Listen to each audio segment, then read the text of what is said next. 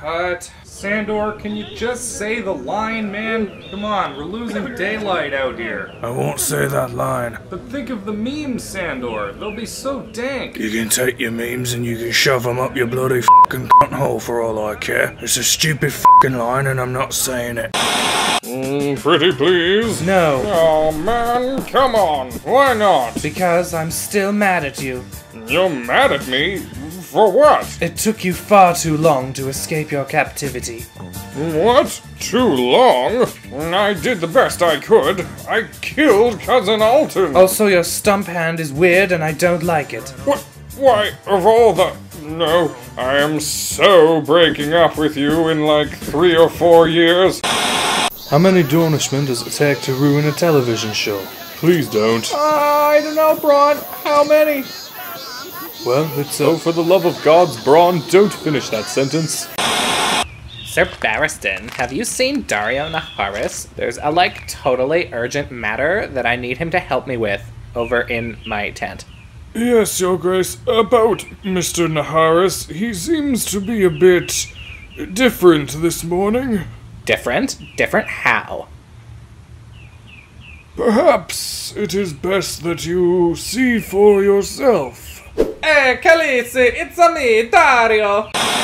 Uh, on behalf of King Joffrey, I would like to formally welcome Prince Oberyn to King's Landing.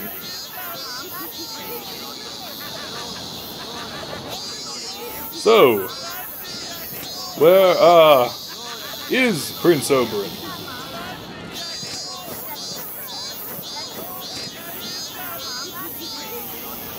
Right then, uh, we, we'll find him ourselves. Don't worry. Whoops, uh, sorry, uh, I was a bit in the way there. Uh, my bad. Uh, So, as I was saying, it's a trick question. It's the Dornish women you've got to watch out for. So, how come you haven't let Sansa go yet, Jaime? I seem to recall that being one of the terms of your release. Mm, come on, where am I supposed to send her to? Her entire family is dead now, and she's no longer betrothed to Joffrey either. This seems as safe a place for her as any other. What if she wound up somewhere even worse? That wasn't part of the deal, Jaime! Sansa's coming with me. You've got till the end of the next episode to make it happen. Got it? Yes, ma'am. What was that? Uh, I didn't hear you. Yes, ma'am. Good boy.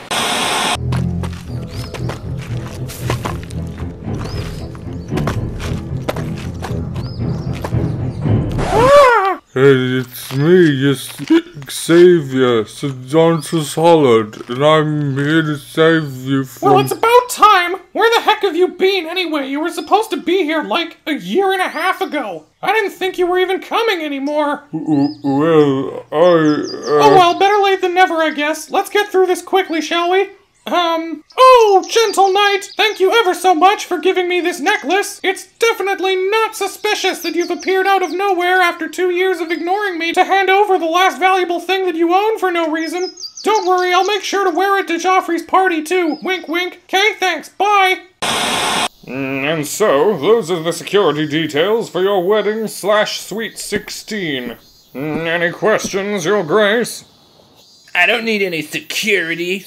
Stupid! Nobody would dare cause any trouble at my party. Mm, I mean, it doesn't hurt to be careful. Your Grace still has many enemies, and. The only thing I need to be careful about is, is not being not careful enough. Shut up. Khaleesi, I got you some pretty flowers. Ugh, seriously? Flowers? The severed heads you got me last time were way better. Come on, Daario, what happened to you? It's like you're a totally different person now. Gonna have to be a different man.